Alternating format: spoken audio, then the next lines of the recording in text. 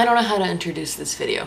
I'm at a loss. I'm at as much of a loss to introduce this to you guys as I was to talk about when I heard about it in 2015. I want to be a positive force on the internet, generally speaking. But one thing I feel like I need to talk about that I don't think enough like college professors really actually talk about gimmicks in the art world. Ideas that are done in fine galleries just because they seem weird or catchy and because they're like, oh, no one would surely do this. They end up making more money than I will make in the next 20 years. Like, remember how the last idea was about selling a banana or the idea of a banana? In that scenario, someone got to eat a banana. I mean, it wasn't one of the three people who bought it, still, go watch my video on it. So today I'm gonna talk about Lana Newstrom and her invisible art. One of my drawing professors presented us with this idea in 2015 that a woman was selling not actual paintings, but like these idea or descriptions of paintings. This is reported by Art Fido, which is, as far as I know, not a satire, and the article appears to be legitimate. In Newstrom's own words, just because you can't see anything, it doesn't mean I didn't put hours of work into creating a masterpiece. Art is about imagination, and this is what my work demands of the people interacting with it.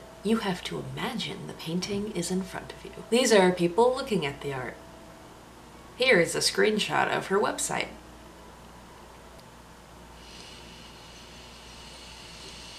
It's ridiculous and infuriating and still kind of nice that if you read the fine print it sounds like the money would go to a good cause.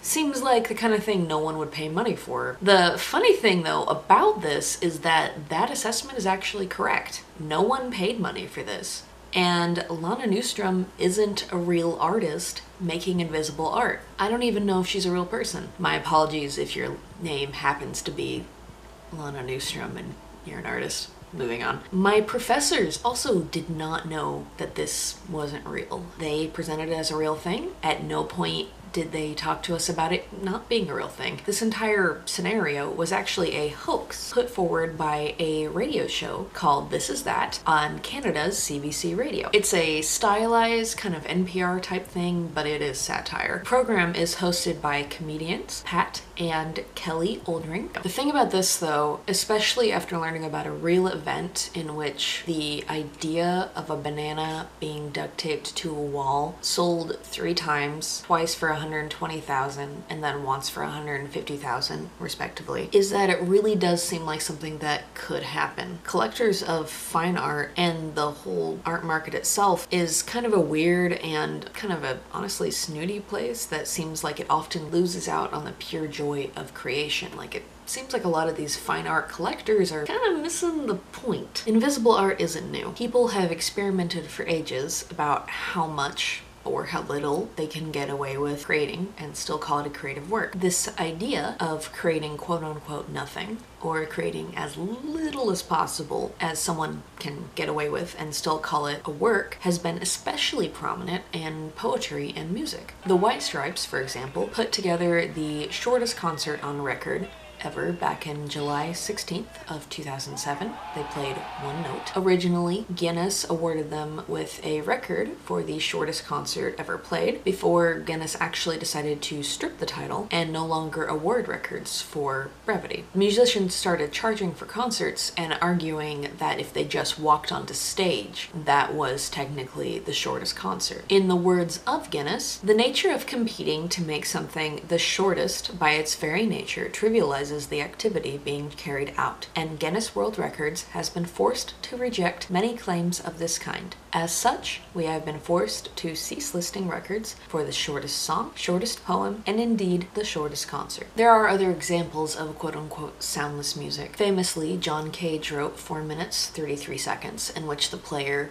at a concert walks up to a piano, sits down at it, and does nothing for 4 minutes and 33 seconds, bows, and leaves. This piece of music reportedly inspired Robert Rauschenberg to spend a month erasing a piece of art by Willem de Kooning. It is important to note he did actually ask Willem for permission to do this, so and he did get permission. His apparent goals were to explore the limits of the definition of art itself, and he felt that he could not do this by erasing his own work. Why he couldn't do it by erasing his own work, I'm not really clear on that, but this is what we ended up with. In 2014, Marina Abramovic staged an exhibition at London's Serpentine that she said would be about quote unquote nothing. Here's the real kicker though. People weren't interested in the idea about nothing, but rather the controversy that arose when another artist, Mary Ellen Carroll, claimed that she was stealing the idea of an exhibit of nothing, which Carroll had been working on since the 90s. There's more to that one and to the exploration of the idea of nothingness and minimalism, and I think that that particular instance might be a really interesting video for another day. Let me know in the comments. But I think the point remains and brings me back to the beginning. The reason why so many people were fascinated with Lana Nordstrom and believed that this woman had made millions from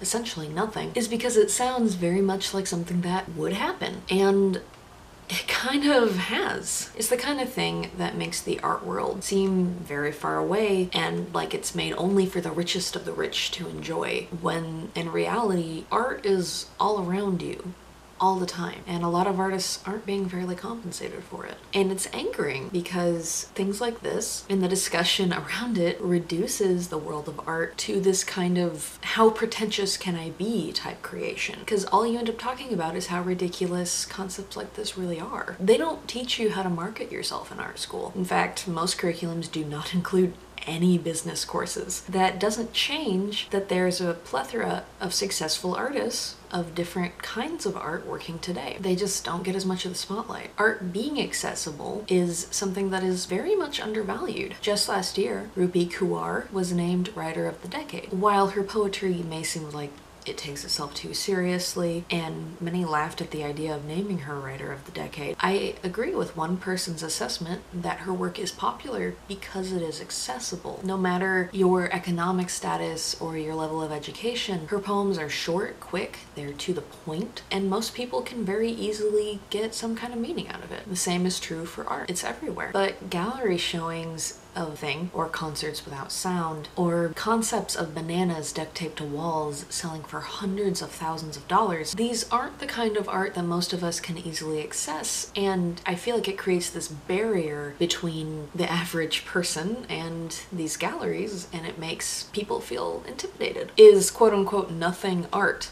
I don't know. I think it depends on the individual work, the ideas behind it, because there are like illnesses and conditions and periods of your life that can feel like literal nothing, and that would be a very interesting way to express it. At the same time, I don't think everyone who goes into an art gallery should need to be thoroughly educated on modern art in order to get something out of it. And when you get into, oh, these people expect you to be educated going in, it just kind of takes the fun out of it. The question it gets at really is at what point is something art? and at what point is it not? It's the same question artists and critics and consumers have been asking since we first started creating. And I don't think the discussion stops anytime soon. I'm really interested to hear what you guys have to say about this. I know it's a less funny one, but I want to know what your thoughts are. Let me know in the comment section below or on Twitter. Um, I'm on there quite a lot. If you liked this video, give it a like, give it a share, thumbs up, and subscribe because I put out new videos every other week. And also consider supporting me on Patreon. I am trying to work up to paying my rent on Patreon. I do work a job, but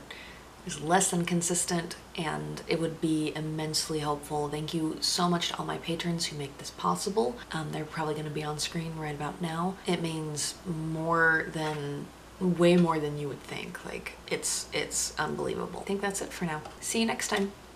Bye. One of my drawing professors present one of my drawing pres take four. One of my drawing pres Jesus. This filming is going really well.